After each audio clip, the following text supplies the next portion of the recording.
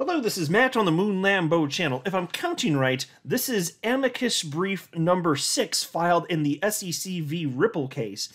And the one filed today is an absolute slam dunk, and it is different than all of the other amicus briefs that have been filed to this point. And I'm not saying there's no overlap, but I'll just tell you right now this amicus explains the underlying tech and its utility and utilization of XRP in greater detail than anything else that's been filed in this entire case. That's my personal opinion, by a long shot. And so, uh, who, what, who's who's filing this?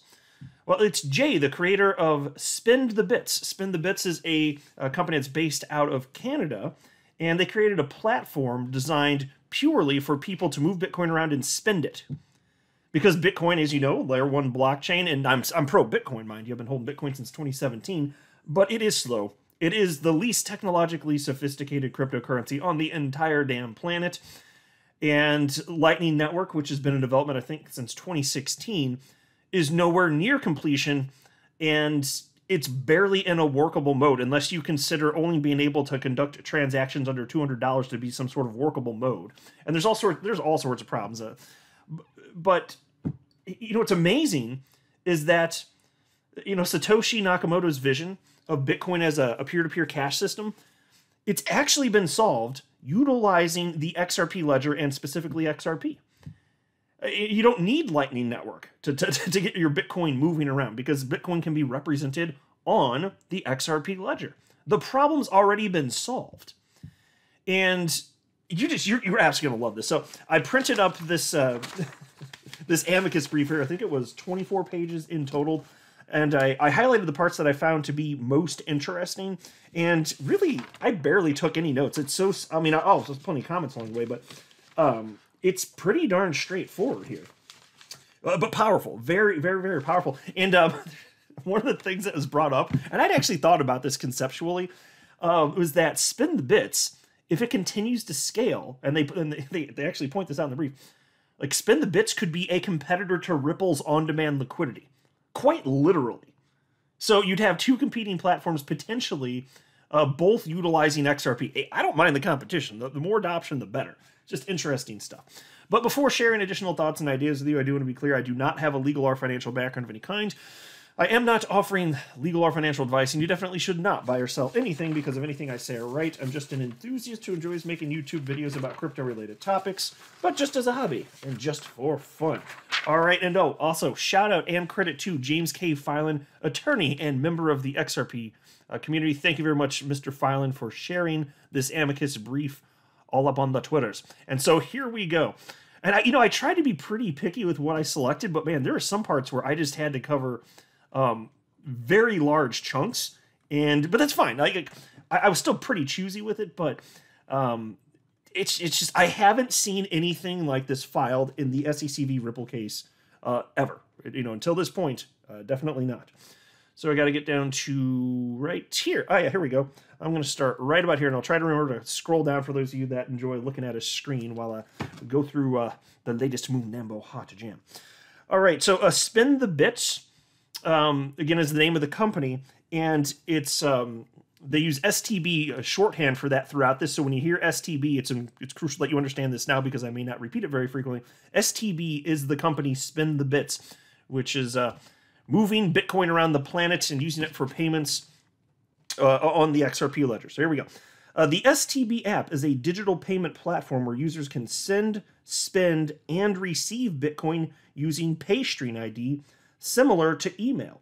PayString ID is a universal payment identifier assigned to users that allow for the generic transfer of value between users in a similar manner to how information is transferred between different users, uh, user emails, like Hotmail to Yahoo. Uh, PayString ID utilizes one master address to represent any number of sub addresses on any generic payment network, centralized or decentralized, while preserving the privacy of user account numbers on the respective networks. So I'll pause to note uh, Ripple actually pushed very hard for PayString adoption when this thing was first launched. And I can't remember how long it's been. It feels like it's been at least two or three years at this point. But PayString, it, it really is pretty well as they described it here. Um, it's the idea of uh, you know moving money around as easy as an email. So basically, you have your your address, your paystring address, which address address your paystring address, and instead of having the at symbol like you do in email, you have a dollar sign there. Uh, because it's it's intended to move value, right? So it could be your name, dollar sign, and then d- the domain, for example. Whereas with email, it's whatever the name is at and then the domain, right? And so you can just punch that in, and it doesn't matter whether it's a, a cryptocurrency or traditional payment rails. Uh, PayString is set up in such a way that if you send it to that address, they just get it. That, that's that's the theory behind it. Now, um, it, it's um, it's just it's interesting to see how this is being adopted here, and you'll see as we go through this too. Like spend the bits here, they really lay out their entire business model, and it is so interesting because I, I had like kind of a loose understanding of how um, the XRP ledger was used by Spend the Bits because I understand, of course, there's a decentralized exchange built into the XRP ledger. You can tokenize Bitcoin, it can move about, but they go into much greater detail. I just found it endlessly fascinating to see how their business model actually works. Um, but it also plays into uh, you know the, um, the, argument that Ripple's been making, which is that of course there clearly is no common enterprise. It has Spend the Bits just did this on their own. Uh, and then we continue. Uh, STB has been built slash deployed on layer one of the XRP ledger. STB is an application layer that is designed to bridge any layer one blockchain or payment rail to any other payment rail. Uh, let me jump down just a little bit to right uh, here. Uh, the cost of processing Bitcoin payments with STB is approximately 0.1% for most transactions, as compared to fees of approximately 3.5 to 5% when processed by banks or credit cards. Think about this. And the SEC, if they have their way, this won't be allowed in the United States.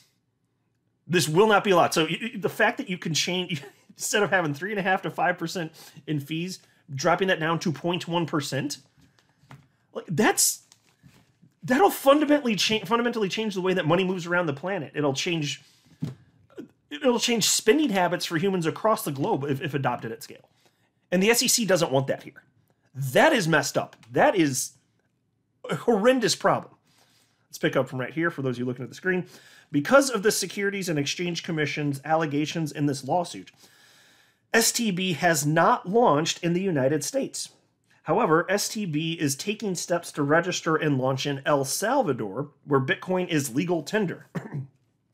While the SEC is supposed to concern itself with investments, the wide net it has cast in this litigation has hooked XRP purchasers, users, and developers alike. If this court deems XRP a security, STB would be prevented from launching in the US, depriving US consumers from benefiting from the innovation and cost savings STB offers. Thus, STB has a strong interest in this case and provides yet another distinguishable example that undermines the integrity of the SEC's claims regarding XRP. Oh, love that. Uh, let's drop down to, see, about on page four. Okay, yes, yeah, so I'm going to jump back in right here. Take a look at this. Uh, currently, there exists over 170 validators and 900 nodes operating around the world run by a broad range of individuals, universities, institutions, and exchanges. For consensus to be reached in the XRP Ledger network, a minimum of 80% of the validators must agree. Ripple runs six validators, thus controlling less than 4% of all validators within the network, giving Ripple no power over the network. It's a positive thing. And I brought this up so many times, but it's worth repeating it quickly here at least once. There can be no common enterprises. Ripple doesn't have power over any of this. It is not Ripple's, which is why I've also said in the past if Ripple, and they'd never do this, but if Ripple actually tried to register XRP as a security with the SEC, I would be personally offended. I, I think we have to start a campaign against Ripple because the audacity, how dare they presume that XRP is theirs? They don't have any special powers. How dare they? But of course, they you know they never do that. But you get the point, right? Um, and then let me jump down to uh, right here. There are literally hundreds, if not thousands, of XRP Ledger developers with no connection to Ripple running applications on the XRP Ledger. In short, the SEC fundamentally misunderstands the nature of open, permissionless, decentralized, distributed ledger computer networks that are open to the world. Pause. Um, actually, I'll push back against that a little. No, they don't. They're just being disingenuous asshats. They're liars. No, they, they understand the decentralized nature here of the XRP ledger, and they don't care. They are outright lying. There's no way they don't understand this. Not a chance in hell. Uh, they've done too much research to, to just not know this. And then, uh, anyway, uh, Spend the Bits continues. There are tutorials available to teach and instruct even the most non technical individuals on how to utilize the technology. The SEC is simply wrong when it asserts that STB lacks the technical skill to contribute to the XRP ecosystem. And then here's a quote from the SEC, which they cited here. Uh, in contrast to Ripple, investors in XRP cannot take most or any of the steps that Ripple has taken to grow the XRP ecosystem and increase demand for XRP. Most, if not all, XRP investors simply lack the technical exper- expertise and the resources to do so. End quote. So that's from the, the SEC, and it's cited there by Spend the Bits, and that's just factually incorrect. And so then they write, in fact, anyone can learn how to code on the XRP ledger without a technical background. Just ripping this all to shreds, and it's so good because again, for for most what we've seen, you know, it's, it's been fantastic having all the uh, am, amicus uh, applicants, which is what this is, by the way. Just to be clear, I don't know if I was clear enough when I started the video. This is an amicus brief. They filed an application. Uh, the judge has to technically approve this still, um, but but still, out of everything that I've seen filed to this point, like they are just nailing it on the technology side. So I, I, feel good because I know that Judge Torres is being sufficiently armed with information from all like all sorts of different um, you know you know thought processes that one could pursue in trying to come to conclusion on what's right and wrong in the SEC v Ripple case. Um, now let's go down to right well, a little bit lower. Yeah, here we go. Uh, start right here. Okay. Not only is 100% of STB revenue from Bitcoin, but STB never received any incentives, compensation, or XRP from Ripple to build the STB application. Ripple and its executives did not provide any input, influence, control, or consent to the development, launch, or use of STB. The SEC's position that XRP is an investment contract with Ripple is destroyed by the way STB and others like it build applications on the XRP ledger. Whew, hallelujah. I love hearing this too. App, and it is, it's absolutely destroys the arguments. The judge will clearly see this, right? Um, and it was interesting here too. Spend the Bits business model uh, is to get paid 100%, at least that's what it is right now. 100% of revenue comes from Bitcoin, not from XRP. XRP is just used functionally and it gets burnt with transactions, so XRP is held. But but Jay from Spend the Bits isn't making any money by utilizing XRP on the Spend the Bits platform. They're making it all from Bitcoin. And so maybe it'll expand and do all sorts of other stuff, transfer other stuff in the future. But right now, this is a very pro Bitcoin platform. And so it's just neat to see that XRP and the XRP ledger could help ensure the long term viability of Bitcoin. It actually could. I mean, it's getting used here. We'll see what happens and, and to what degree this scales, but it's a cool as hell business model, don't you think? I do. I mean, Jay from Spend the Bits is to be applauded for sure. This is incredible. For that, and then also for um, actually filing an am- amicus brief, we'll technically hear an application, but still. Um, let's move down a little bit further now. Securities laws do not apply. This section right here. Uh, STB's acquisition and consumptive use of XRP demonstrates that XRP does not constitute an investment contract. The Securities Exchange Act of 1934 gave the SEC broad authority over the securities industry but when a purchaser is motivated by a desire to use or consume the item purchased, the securities laws do not apply. And I'll note that that comes from a case. Uh, so there is actual case law uh, behind that. And then they continue. In contrast to an investment intent, an individual may acquire an asset with a desire to use or consume the item purchased. Simply put, a transaction does not fall within the scope of the securities laws when a reasonable purchaser is uh, is motivated to purchase by a consumptive intent. Therefore, based on XRP's functional utility, uh, independent of Ripple, XRP serves as a commodity and therefore not subject to the securities laws. Exactly. Now, now that's a that's a concept that has been cited on the channel, but it's powerful and it's in here, so I want to make sure that I uh, cited that as well. Um, but they, they attack him from multiple angles here. Uh, so now we get to this section under the Howey analysis. And, and, not that we should even get to the Howey analysis. And and so Ripple argues because there's no no contract, so there can't be an investment contract. And here, as you already just saw, uh, Spend the Bits is saying this is for consumptive use, so for that reason also you don't get to the Howey test. But they still talk about the Howey test anyway, just in case, which is perfectly reasonable. And so we'll jump to right here. The SEC cannot prove there is a common enterprise and tries to argue that XRP represents the investment contract because it embodies all of Ripple's efforts. The SEC cannot satisfy the Howey test with such sweeping allegations that implicate XRP purchasers who had no knowledge of Ripple, who purchased XRP on the secondary market, and who developed use cases independent of Ripple's efforts. another hallelujah, please. Uh, then there's another section here. There is no common enterprise. The second factor of the Howey test is whether a common enterprise existed.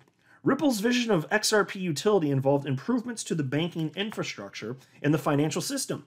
STB, on the other hand, is a peer to peer payment platform that is actually fulfilling the original goal of Bitcoin by creating a platform for instant peer to peer transactions. While the CEO of Ripple, Brad Garlinghouse, has taken the position that you can't buy coffee with XRP, STB is designed to facilitate such purchases. This alone illustrates the exact opposite of a common enterprise. Exactly. So there you got the guy heading uh, Ripple, allegedly the common enterprise, says no, you can't do it. You can't be buying a you're not you're not, you're not buying coffee with with Bitcoin or XRP. And he said both, by the way. Um, and Spend the Bits is like, yeah, you can, and we're going to make that possible. And I remember even Attorney Deaton said this too. He's like, the fact that Brad Garlinghouse said that, it doesn't matter. That's just one person's opinion. And I'm a fan of Brad Garlinghouse, but he is not the ruler of XRP or the XRP ledger, nor is he trying to be. But that's the point. And so the SEC uh, points out this, this uh, they, they have previously pointed out that Brad Garlinghouse stated this, meaning, hey, it's not a currency, blah, blah, blah, this or that. It's like, it doesn't matter what he says. It's one person. There is no common enterprise, and you can use your XRP in place of a traditional fiat currency. People do it every single day. Uh, then we continue right here. Okay, whoops. There we go. Okay. Uh, STB is not in any sort of common enterprise with Ripple or its executives. The STB app is well suited to facilitate payments in Bitcoin to brick and mortar and online merchants because transactions are confirmed quickly, securely, and efficiently, unlike the current case with the Bitcoin blockchain, where transactions are slow to process and inefficient, resulting in significant pain points of volatility, settlement time, and payment finality for retail merchants. The SEC alleges that the fortunes of XRP purchases are uh, purchasers are dependent on the success of Ripple's XRP strategy. But STB is a perfect example of a different strategy that adds value to XRP independent of Ripple's vision. In order for a common enterprise to exist, the fortunes of each investor depend upon the profitability of the enterprise as a whole. Ripple, if Ripple were to fail and cease to exist, STB would continue its business operations unhindered in Canada, El Salvador, and anywhere Bitcoin adoption progresses. The fortunes of Jay Cambo and STB depend on two things Bitcoin adoption and the efforts of STB, not Ripple. So, look, if you're if you're talking about Bitcoin having true utility, uh, and, and it like honestly, it's like I let me say this. I understood like the general concept of spend the bits, and you're about to understand a lot more if you stick around with me through the end of this video. It's very interesting. I will say this, and we'll see if, if spend the bits really does scale far beyond where it is right now. I will be very confident, very confident in the long term viability of Bitcoin because it'll be able to do something. It can fulfill its original vision then. And there, there will be, I'm sure there'll be competing platforms that'll do stuff like this, but you don't need Lightning Network even. Maybe it works one day, okay, super duper. But I'm telling you, if, if, if this scales, I'm just like, I'm on board, man. I mean it, and, and then it's also it's it's just like it's such an interesting ecosystem then because the STB can can help to ensure, if it scales, the long-term viability of Bitcoin, and then Bitcoin getting used as actual money would help to ensure the long-term viability of XRP and the XRP ledger. Symbiotic, my friends. Wouldn't that be cool as hell? So it doesn't mean for sure that's how this is all going to pan out. It's too early to know for sure, but it could happen, and I think that's neat. I hope it happens. I want Bitcoin and XRP to succeed and be around forever. That would be my preference. It really would be. Um, now let's pick up right here. Um, under the section titled "There is no expectation of profits from Ripple uh, Ripple's efforts." The SEC has fought to keep XRP purchasers, users, and developers from sharing their perspective, knowledge, and or use cases in this court. This is likely because truth, such truth destroys its assertions that users and developers independent of Ripple don't have the ability or resources to grow the XRP ecosystem, that they can't develop a use for the token without Ripple support. So let's pause to note there. Those are some damn true words right there. Why do you think the SEC has fought uh, every uh, everyone that's uh, you know attempted to uh, participate as Amici Curiae, you know, the friends of the court? Why, why, why has the SEC been pushing back against every single amicus brief uh, application that's been filed? Because it destroys them. The SEC knows they're on the wrong side of this. They know they're lying pricks. These are terrible humans. Of course they know. They're not stupid. They're just terrible little monsters. All right, now let's pick up right here. At present, the focus for STB is bridging the Bitcoin Layer 1 mainnet using the transactional properties of the XRP ledger. Oh, and you're gonna love. So I think this is the part now where we get into how this. Yeah, this is it. This is you're gonna love this. I mean, I hope you're as fascinated by this. I was really interested because I'd been wondering, just kind of in the back of my mind from time to time, how exactly does spend the bits work? Again, like I said, I already understood the some of the higher level conceptual things, but what about the rest of it? Well, a lot of it's uncovered here, and it's really, really interesting. At present, the focus for STB is bridging the Bitcoin Layer 1 mainnet using the transactional properties of the XRP ledger. Uh, STB, as an application, allows users onboarding without requiring the use of any particular currency, although at present STB only facilitates Bitcoin payments. Once the user account creation process is completed, the user funds their STB Bitcoin provided wallet with Bitcoin from another wallet on the Bitcoin blockchain. STB utilizes a third party gateway, BitGo, as a Bitcoin custodian for all deposits and withdrawals of, of Bitcoin using BitGo's application programming interface, or API for short. And so, pause now. That I had no idea. I've been wondering, like, okay, I got it. There's an IOU that represents Bitcoin on the XRP ledger. Yeah, got it. But, like, whose facility is like, is Spend the Bit somehow uh, making sure that there's sufficient Bitcoin available because that could be rather expensive, especially if you're scaling quickly. But it looks, you see they partnered with a third party, BitGo, and they're making that part of the magic happen.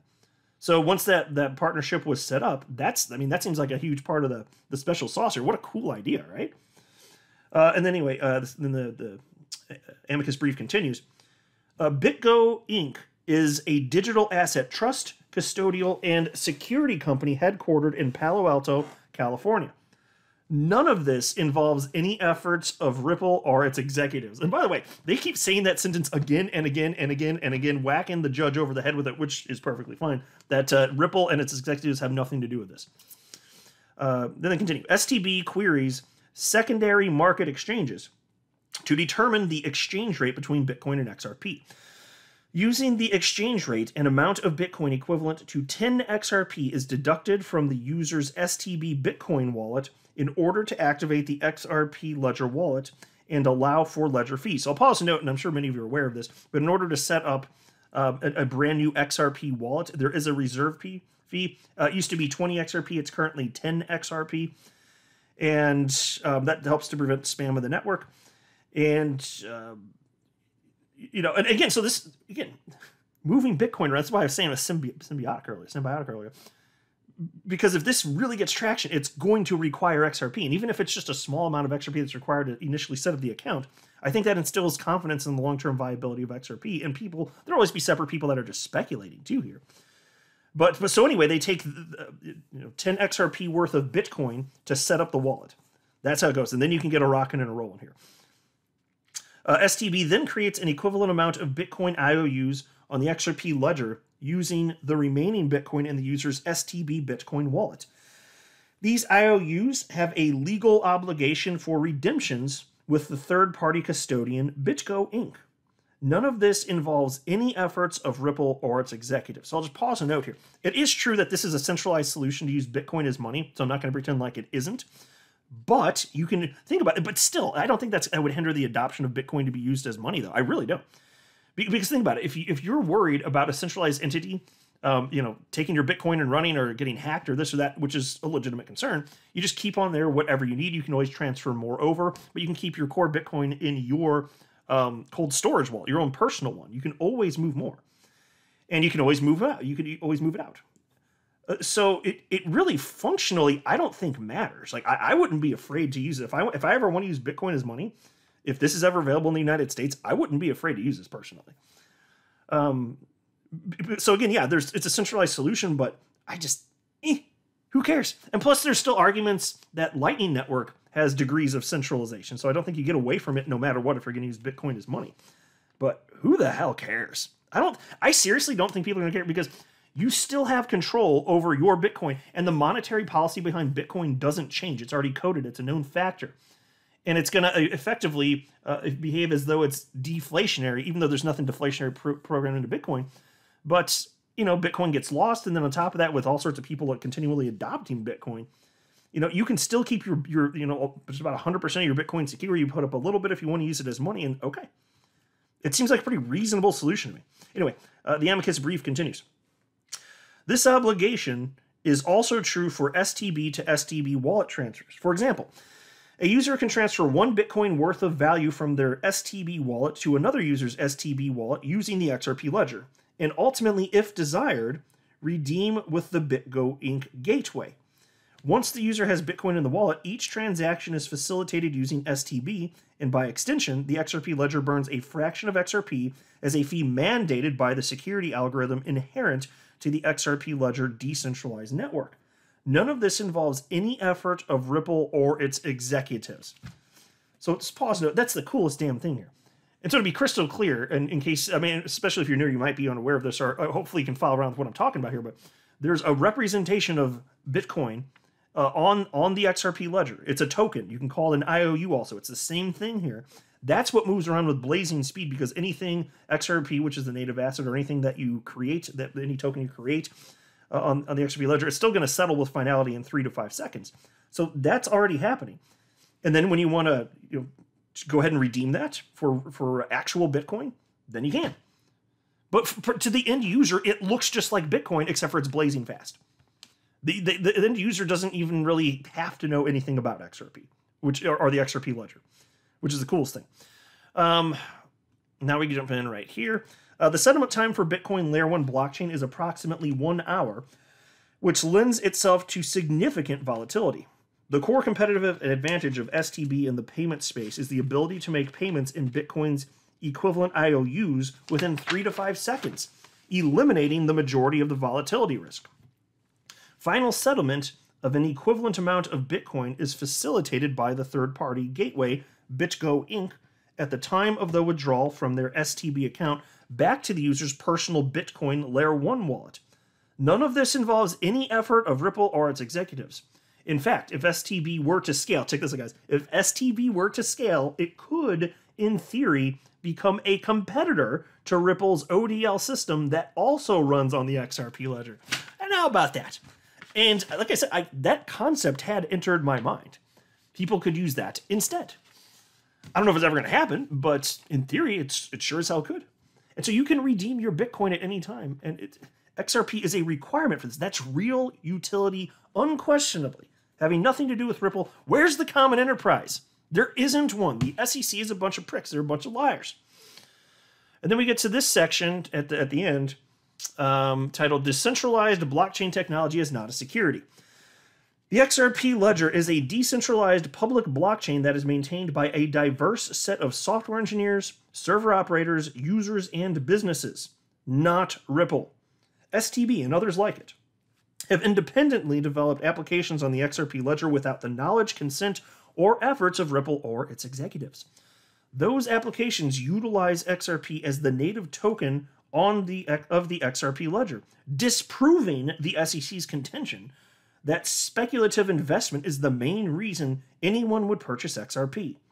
STB purchased XRP from a third party to create an application on the XRP ledger in order to solve a problem related to Bitcoin transfers.